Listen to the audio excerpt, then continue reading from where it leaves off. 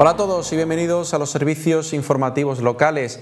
En este jueves 6 de junio comenzamos hablando del pleno previsto para el próximo miércoles 12 de junio, una sesión extraordinaria en la que se debatirán ocho puntos en el orden del día referentes a urbanismo en su mayoría.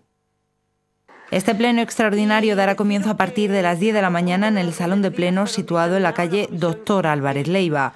Ocho puntos en el orden del día que comenzarán con la aprobación de las actas anteriores. El resto de puntos son en su mayoría referentes a urbanismo.